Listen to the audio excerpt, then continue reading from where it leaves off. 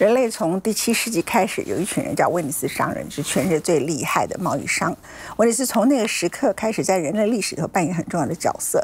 但威尼斯现在其实当地居民只剩下五万人，大多数都是观光客。它原来呢是有好几个小岛跟西湖所连接起来的。那么当地特别把这一百一十八个小岛全部都串了起来，加上西湖，成为一个所有的人可能一生里头觉得一定要去的最美的、最梦幻的地方。在海平面上升情况之下。有些人就评估到了二零三零年，威尼斯的冬天或者是涨潮的时刻，很可能就会面临危机。而今年的威尼斯正式的被世界遗产组织列为濒临危险的状况。他们认为呢，目前威尼斯的观光客太多了，这会导致当地无以为继，会更早的面临即将消失的地方。过去在二零一零年的时候，当我制作文前的世界周报，同时我们引用了 Copenhagen，当时 COP。呃，联合国气候变迁大会的这个所以消失的一百个地方里头，就列了威尼斯这个例子。而发展到今天，这个情况越来越靠近实践。那威尼斯的方式是什么？它当然也没有坐以待毙，它用了个摩西啊，就是圣经里头摩西的闸门大计划，希望能够挡住这个洪水。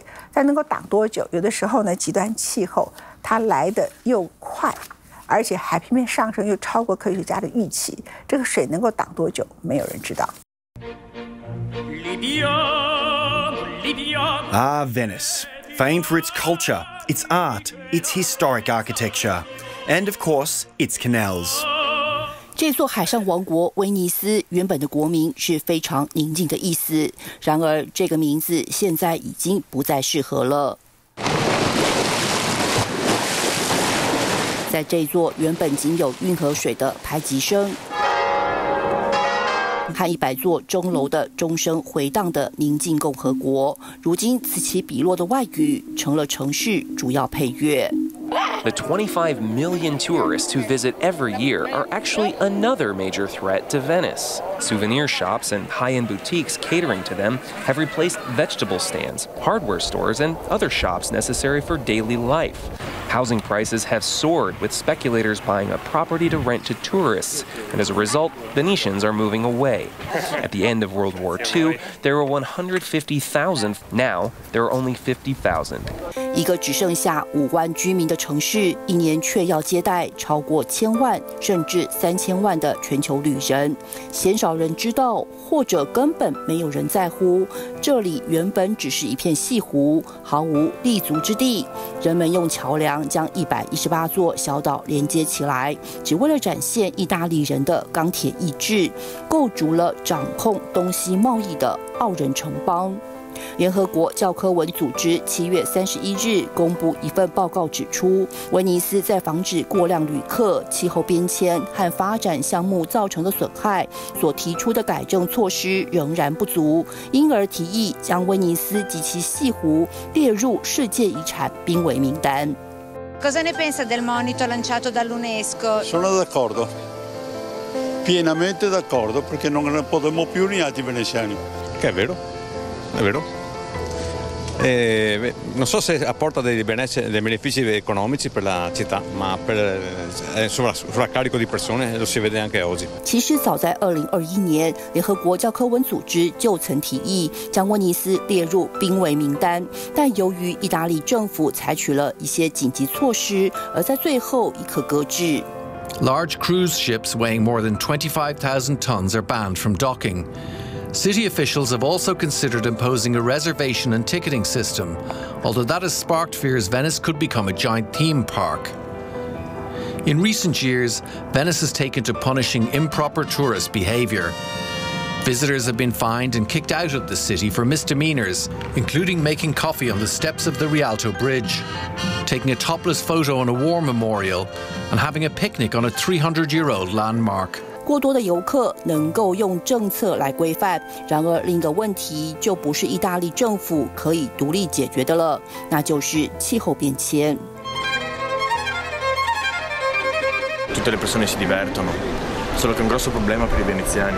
To understand what's happening in Venice, we need to look at the complex geographic structures surrounding it. The Venetian lagoon is bordered by islands, with only several narrow channels open to the Adriatic Sea. A key climatic factor that contributes to the lagoon flooding actually starts way down in northern Africa. The Scirocco winds, hot air originating over the Sahara Desert, pushes up into the Mediterranean. Here, it mixes with the cooler oceanic air that then thrusts wind up into southern Europe. As they make their way up the Adriatic, the Scirocco winds combine with cooler winds from eastern Europe. When these winds that peak in March and November are combined with high tides, they stop water from leaving the lagoon and cause the acqua alta, or high waters, that are now plaguing Venice. 这不是近几年才有的问题。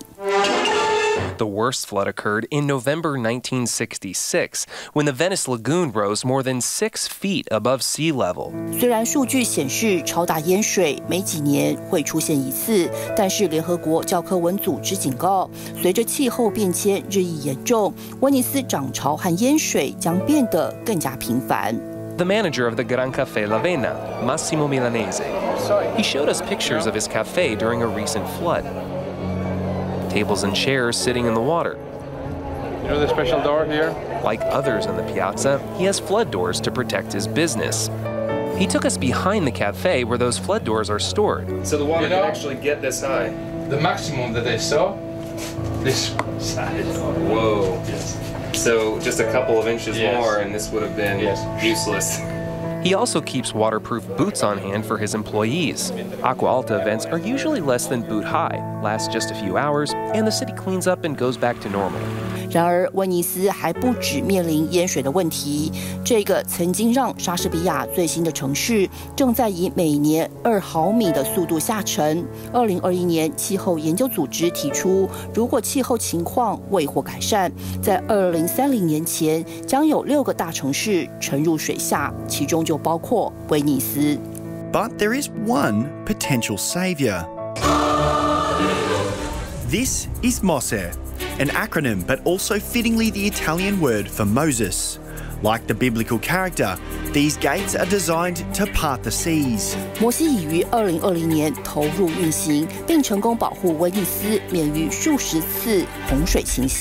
Venice is no longer just something beautiful to look at. Its fragility is a warning to the rest of the planet that this ancient city is under pressures from forces it cannot control. Venice is not alone. In a world of warming temperatures and sea level rise, no place is an island.